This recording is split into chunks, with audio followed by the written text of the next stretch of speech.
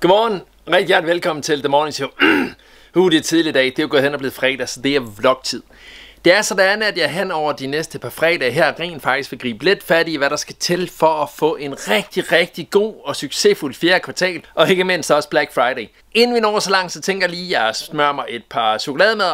Man har vel lidt en svaghed for Nutella, eller hvad? Og så kan vi komme i gang. Jeg hopper lige ned i køkkenet og dribler på chokolademad klar, så tager vi den.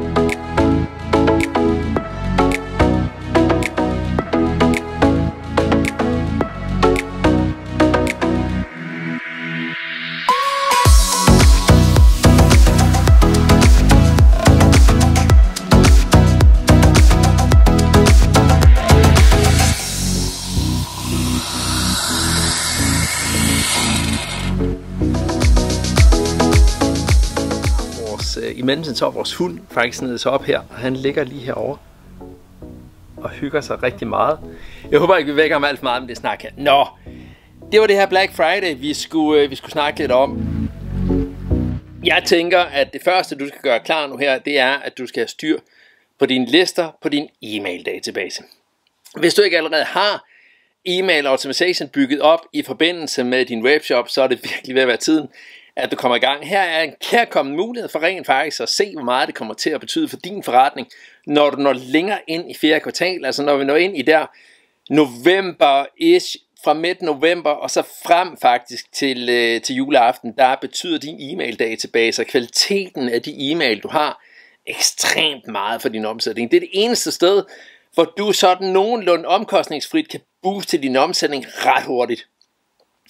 Se, hvordan skal du nu få fat i de her e-mailadresser? Det er altid lidt en kamp, fordi ja, priserne de er jo stigende på nettet, og annoncering er dyrt. Lige nu er det ikke så dyrt, som det er, når vi når tættere på. Jo tættere du når på november måned, sidste november måned, jo dyrere bliver der at annoncere.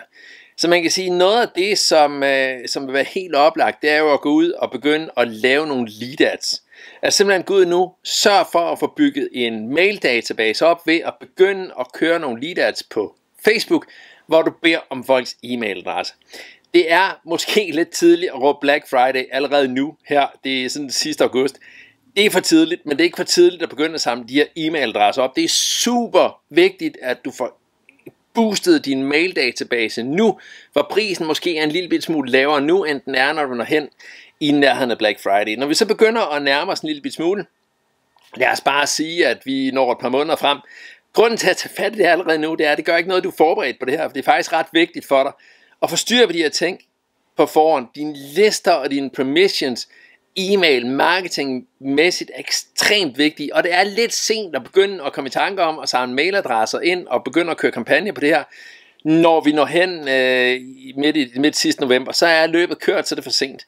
Men det du kan gøre, det er, at du kan forberede nogle kampagner nu. Lead-kampagnen på Facebook kan du allerede køre nu. Du tager dem bare ind i dit normale velkomstflow, og så dribler du bare kunderne ind. Ingen problem i det. Man kan egentlig sige, at det er så tidligt stadigvæk, at råbe Black Friday nu vil være det glade vanvid.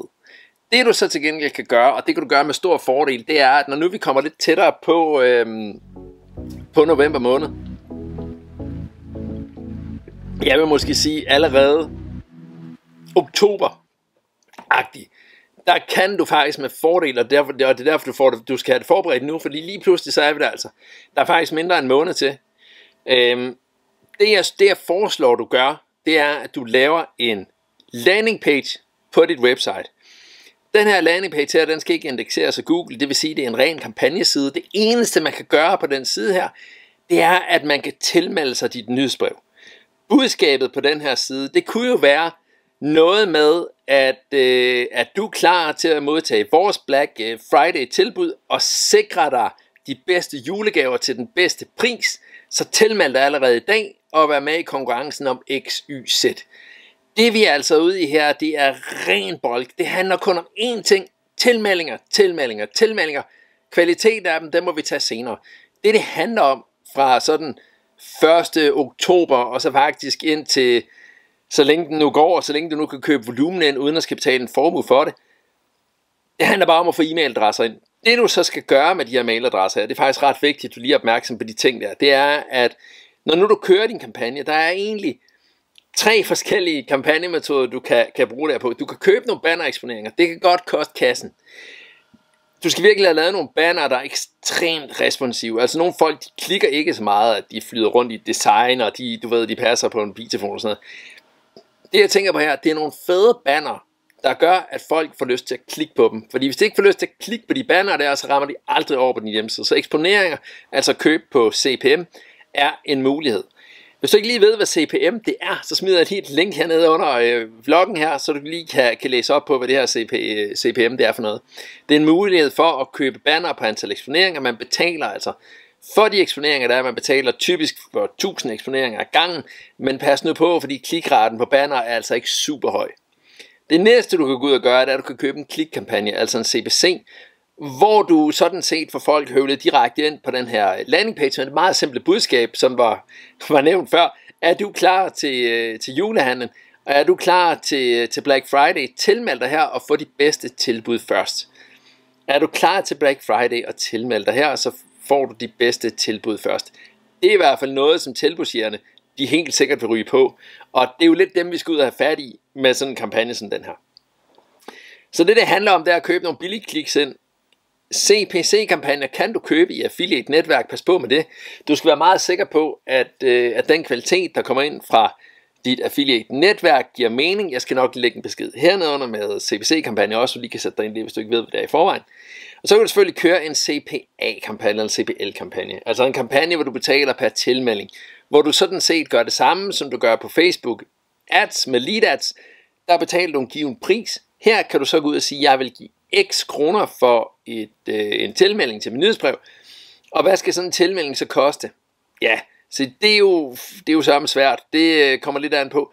Men prøv at ringe rundt til de forskellige affiliate-netværk og høre dem ad, hvad de kan øh, klare sådan en, øh, en CPL-kampagne på, på dit website, på et dedikeret, på et dedikeret, en dedikeret landing page. Det, og grunden til at tre gange, det er, det er ekstremt vigtigt, at du klarer at spille det her. Det er en dedikeret landing page. Formålet er ikke salg. Formålet er at få samlet en nyhedsbrevspermission op. Alt andet er ligegyldigt for den kampagne. Det man så kan gøre med sådan en kampagne, eller det man lige skal huske at gøre på landingpagen, det er, at du skal tilmelde i din permission tekst, der skal du have to permissions. Du skal have en permission til din Black Friday kampagne, som kører fra sidste uge i november til tirsdagen efter Cyber Monday eller et eller andet. Det skriver du simpelthen i din permission tekst. Og de tilmelder sig selvfølgelig også det normale nyhedsbrev, så du har to permissions. Det leder lidt til, øh, til det næste lille fif her, fordi du har allerede en forhåbentlig en masse e-mailadresser samlet op på dine tidligere kunder, og dem skal du have flyttet over til en Friday, Black Friday liste.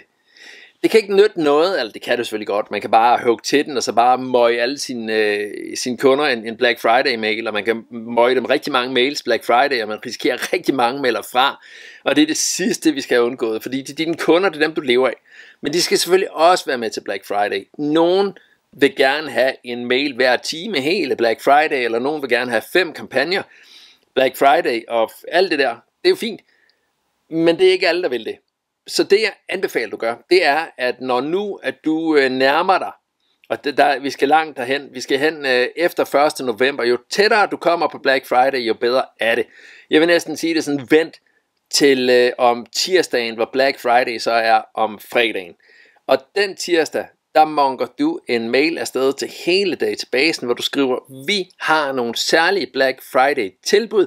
Hvis du gerne vil modtage dem, så klik lige på linket hernede under, og tilmeld dig, så vil du få de her Black Friday tilbud først.